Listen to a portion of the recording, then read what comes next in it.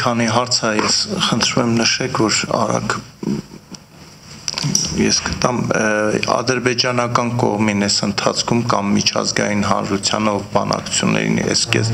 այսպես կամ այնպես միջնորդավորված մասնակցում է կոչ եղել է ադրբեջանին վերադարձնել զինված ուժերը միջև 21 թվականի մայիսի 12-ը զբաղեցրած դիրքերը այդ հարցով բանակցում եք թե չեք բանակցում երկրորդ հարցը. Բանակցությունների ժամանակ եւ միջազգային մեր գործընկերների հետ բանակցություններում խնդիր դրվում է որպիսի օր առաջ Հադրութի, Շուշի, Մարտունու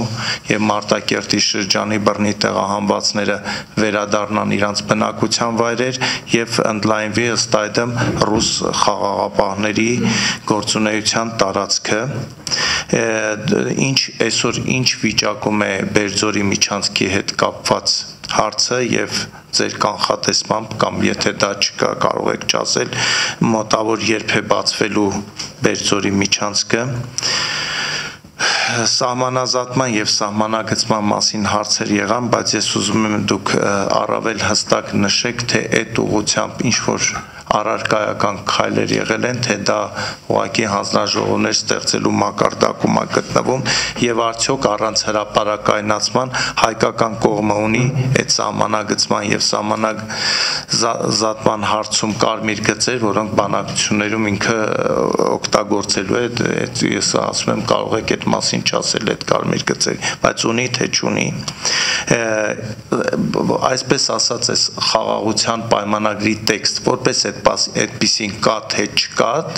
թե դա ուղակի թեզիսային ձևակերպումներ են այդ մակարդակի վրա ենք գտնում, թե արդեն կա որոշակի փաստաթուղթ, որի շուրջ քննարկումներ են ծավալվում եւ ես խնդրում եմ դուք մանրամասնեք ես ճիշտն ասած եւ երևի հանրության մի մասն էլ այդպես չի հասկանում այդ երրորդ երկրի բնակիչները ովքեր են որ Հայաստանից Թուրքիա եւ Թուրքիայից Հայաստան պետք է դա ում է վերաբերվում կոնկրետ որովհետեւ դա մի քիչ կոնկրետացման հարց կա որովհետեւ դա դրա շուրջ մամուլում որոշակի հրաապարակումներ եղել են եւ ամենա եթե մի երկու խոսքով ասեք, այս պահին իրականում ինչպիսին է հայ-վրացական հարաբերությունները, ինչ մակարդակում են գտնվում բացի այդ թեզիս, այսինքն բարի ցանկություններից շնորհակալություն։ Պարոն Ազարյան, այո, իհարկե հայկական կողմը ակնկալում է, որ բանակցությունների արդյունքում եւ եթե հաջողվի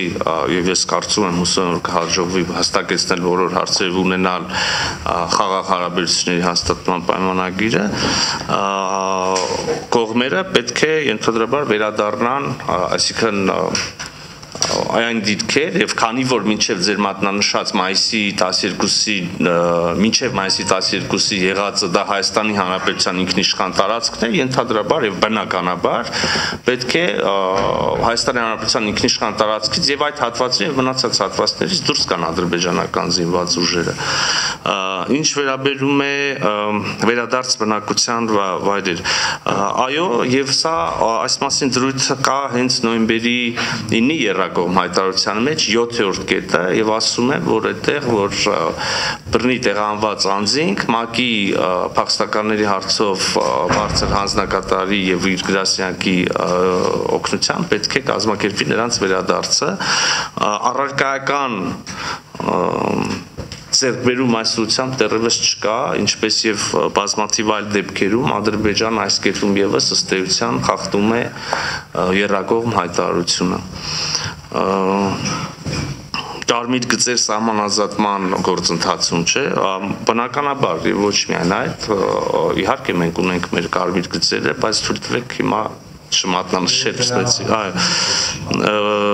լաչինի հարցը. Պարոն Ազյան այստեղ այլ կարծում եմ որ մեր դիրքորոշումը հանրահայտ է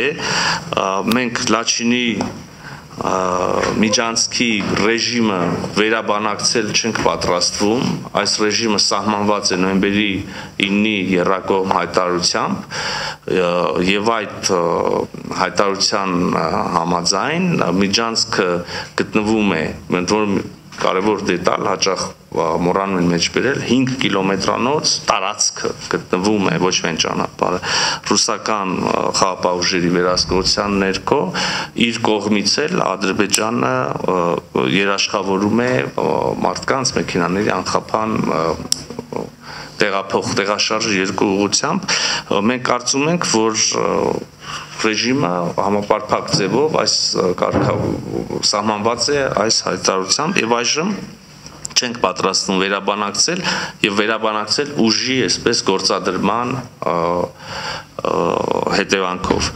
երրորդ երկրների քաղաքացիներ այնուամենայնիվ կարծում եմ որ շփոթի շատ մեծ տեղ չկա խոսքը այն երկրների մասին բոլոր երկրների մասին է բացառությամբ Հայաստանի եւ Թուրքիայի դիցուկ եթե չգիտեմ Ռուսաստանի, Ֆրանսիայի, Վրաստանի քաղաքացին մուտք է գործի Հայաստանի Հանրապետություն, նա կարող է այդ սահմանով անցնել Թուրքիա եւ հակառակողություն։ Մինչև երկու երկրներ անցնել, դա այդ բան էսա միջև Հայաստանի եւ Թուրքիայի քաղաքացիները կսկսեն հատել հայտուկա։ Այո, այս փուլի մասին է, այս միջև այդ այլ երկրներին թույլ ենք տալու։ Այս փուլում համաձայնեցված է պայմանավորություն ձեռք բերվել է սրա մասին։ Հա, ես հասկացա նրբերանգը, այս պահին սա է համաձայնցված, գործընթացը շարունակվում է եւ գիտեք, որ հենց սկզբից հայտարարվել է, որ գործընթացը նպատակ ունի հաստատել դիվանագիտական հարաբերություն եւ բացել սահմանը հասկանում են բոլորի համար արդեն հայ-վրացական հարաբերությունները հայ-վրացական հարաբերությունները իսկապես գտնվում են շատ բարձր մակարդակի վրա ջերմ հարաբերություններ դրանք դարեր շարունակ կողք կողքի ապրած եւ համագործակցած բարեկամ ժողովուրդների հարաբերությունները եւ այդպեսին են նաեւ կառավարությունների հարաբերությունները որովե խնդիր իսկ խնդիրներ միշտ առաջանում են զանազան ոլորտներում բոլոր եղած կամ նոր ցակող խնդիրները կառուցողական մտնոլորտում քննարկվում են եւ երկուստեք փորձի արվում հնարավորինս սարակ, հնարավորինս լավ լուծում տալ բարձրին փոխադարձ ընդունելի լուծումներ գտնել։ Այսքան արձագանք ունեք։ Հարցերի վերաբերյալ արձագանք այս պահին այս չունեմ, բայց ուղղակի կոչ եմ անում անկախ նրանից